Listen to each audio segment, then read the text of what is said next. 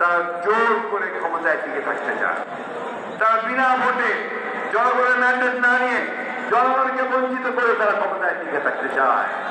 আপনারা কি দুই হাজার চোদ্দ সালে ভোট দিতে পেরেছিলেন? আঠারো সালে ভোট দিতে পেরেছিলেন?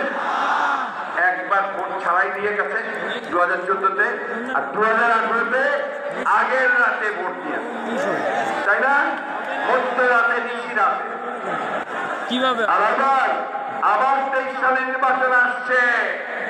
সেই নির্বাচনকে আবারও একই কায়দায় তারা নিয়ে যাওয়ার জন্য পায়ে তারা শুরু করেছে। তাকে নির্বাচন কমিশন করেছে।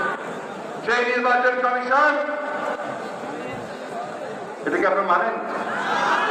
এই নির্বাচন কমিশন মানেন কাজ তৈরি করা কাজ তৈরি করা, হাতিয়ার তৈরি করা, তাই না?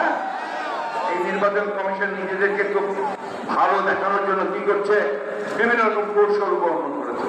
বলছে ইভিএম এর নির্বাচন হবে। গাইবান্ধা নির্বাচন থেকে বলছে, আমরা ভালো নির্বাচন করেছি। আরে, তোমাকে তো ওই ডিসিএস ফিরাই মানতে চায় তোমার বিরুদ্ধে দেখে আওয়ামী লীগেরা বলছে নাকি তুমি নাকি ভোট চুরি করে ভোট বন্ধ করে দিয়েছ? তো সেই নির্বাচন কমিশন দিয়ে কোনো নির্বাচন হবে? সেই জন্য বন্ধুগণ, আমরা নির্বাচন নিয়ে কোনো কথা বলছি না। আমরা নির্বাচন কমিশন নিয়ে প্রথম কথা বলছি না। আমরা পরিষ্কার করে বলেছি যে এই দেশে তত্ত্বাবধায়ক সরকার ছাড়া কোনো অবাধ সুষ্ঠু নির্বাচন হতে পারে না, বন্ধুগণ।